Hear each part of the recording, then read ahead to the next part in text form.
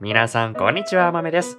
今回はロック画面のこちらのアイコンをタッチするだけで、こんな感じですぐにメモを新規作成してくれるという便利なショートカットをご紹介したいと思います。僕はよくメモを取ることが多いんですが、誰かの電話番号だったり、誰かに伝えないといけないことだったり、要はその日だけ覚えておけば、後から見直す必要がない、ちょっとしたメモを取ることが多いんですよね。そんな時に、ロック画面からすぐにメモを新規作成できたら便利だなと思って作成したものになります。ちなみにこのメモは、たくさんフォルダがある中のこちら、クイックメモというところに新規で追加されていくことになるので、メモをフォルダ分けしている方にとっては邪魔にならない、後で削除してしまっても問題がないフォルダに保存することもできます。それでは作成方法をご紹介していきたいので、まずはこちらのクイックメモを削除して、ロック画面からもアイコンを削除して、1から作成していきたいと思います。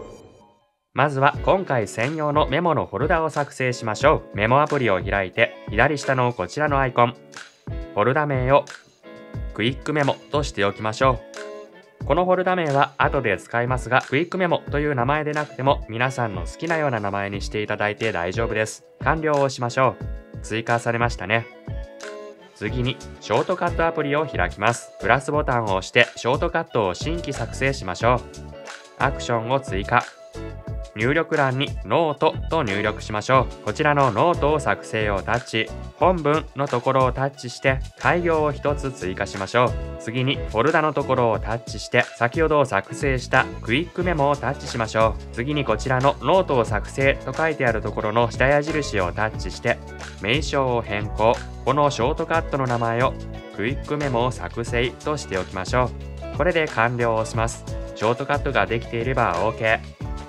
続いてこちら、ロックランチャーという無料のアプリをインストールしましょう。リンクは概要欄に貼っておきます。このアプリを開いて、左から2番目のロックをタッチします。ウィジェット1の設定してくださいをタッチして、こちらの英語で書かれたショートカットをタッチ、名前のところに先ほど決めたショートカットの名前を入力します。クイックメモを作成。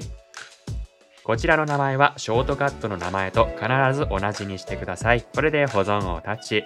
次にこちらの詳細ボタンをタッチして、編集、アイコンを選ぶをタッチしましょう。こちらで好きなアイコンを選んでください。僕はわかりやすいようにこちらのメモっぽいアイコンを選択しています。これで保存をタッチ。もう完了です。あとはロック画面から長押し、カスタマイズ、こちらでロックランチャーを選びましょう。すると先ほど選んだアイコンが表示されているのでこちらをタッチして設定すればこれで完了です。試してみましょう。こんな感じでクイックメモに新たなメモが新規作成されました。もう一度。また追加されましたね。こんな感じで気軽にメモを作ることができるので結構重宝する方多いかと思います。今回はメモを作成するときにこちらに開業を1つ追加しましたが毎回メモのタイトルが決まっているような方は開業ではなくてそのタイトルをこちらに入力しても便利かと思います。以上今回はロック画面から簡単にメモを新規作成することができる便利なショートカットをご紹介しました。それではまたお会いしましょう。iOS16 のロック画面ウィジェット、まだまだ可能性を秘めているかと思います。もっと便利な使い方をされている方もいらっしゃるかと思うので、また年末にかけてロック画面コンテストを開催予定です。そちらもお楽しみに。